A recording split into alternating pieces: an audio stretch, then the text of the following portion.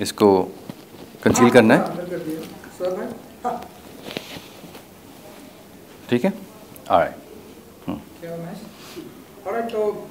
सबसे पहले तो कांग्रेचुलेशन ब्यूटीफुल ट्रेलर है Yeah. हाँ जी।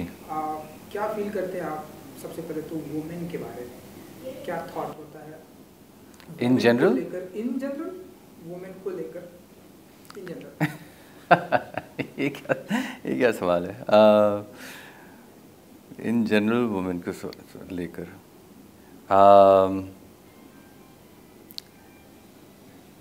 जनरल मैं क्या कहूँगा? Women are very big part of a man's life in general and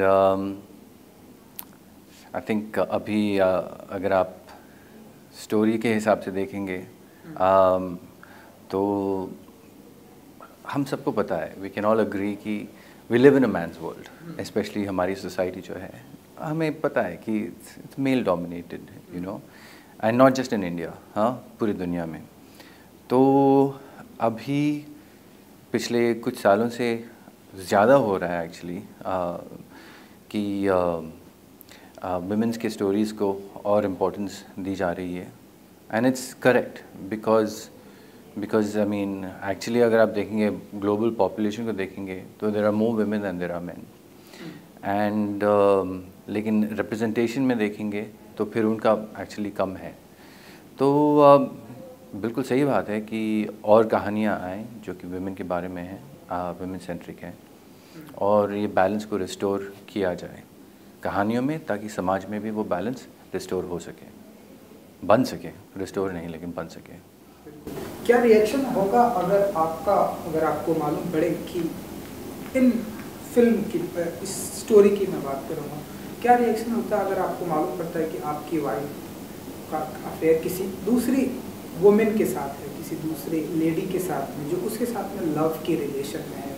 what was your reaction देखिए यू नो ये ऐसी सिचुएशन है जो हाइपोथेटिकली हम इसके बारे में डिस्कस कर सकते हैं कि मैं मैं इमेजिन कर सकता हूँ कि मेरे रिएक्शन ऐसा होगा या वैसा होगा।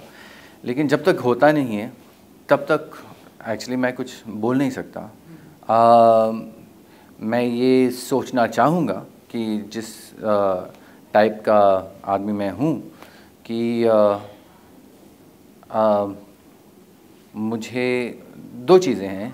एक तो ये है कि अगर उनका किसी और के साथ रिलेशनशिप होता है रिगार्डलेस ऑफ़ जेंडर वो एक ही चीज़ होगी। मैं ये सोचना चाहूँगा कि आदमी हो या औरत फ़र्क नहीं पड़ता। आ, मसला ये है कि वो कुछ और चाहती है अपनी ज़िंदगी से हमारे रिलेशनशिप से। ऑन अनदर लेवल कि हम सब जो हैं हमारा समाज जो है वो वो सेक्सुअल रिप्रेशन के ऊपर बहुत ही आधारित है बहुत ही निर्भर है ऑलमोस्ट तो मैं तो चाहूँगा कि जो भी हो आ, कोई भी हो पूरे पूरी पूरी दुनिया में आ, चाहे वो मेरी वाइफ ही क्यों ना हो मैं तो चाहूँगा कि हमें बस एक ही मौका मिलता है एक लाइफ मिलती है और उस लाइफ में जो भी हम हैं उसे पूरी तरह से एक्सप्रेस करने का हमें सही मौका मिले। तो मैं तो ये चाहता हूँ बिल्कुल। सो कैसा रहा experience with two beautiful women in the amazing बहुत ही अच्छा experience and there incredibly warm people बहुत ही स्पिरिट के हिसाब से बहुत ही जनरस हैं।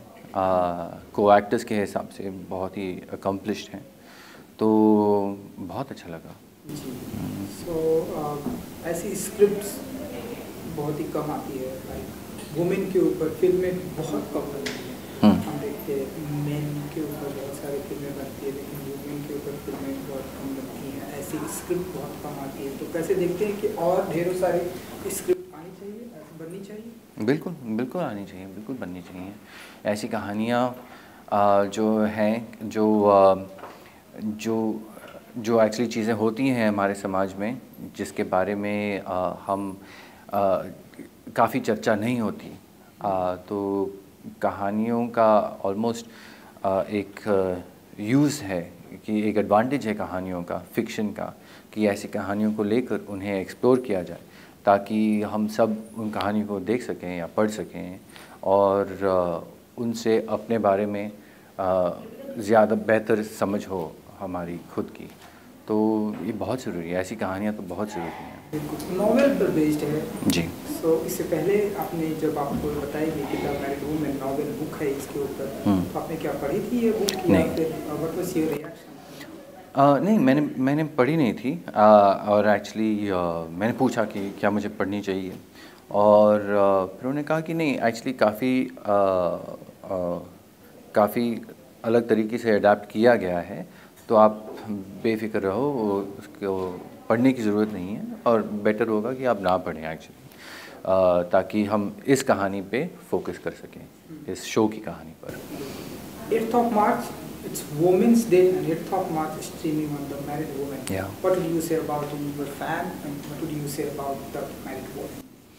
Um, मैं तो कहूँगा कि first of all March eight happy women's day So, and uh, this is a woman-centric story that uh, not just every woman, but every man should watch. So please watch The Married Woman on Women's Day.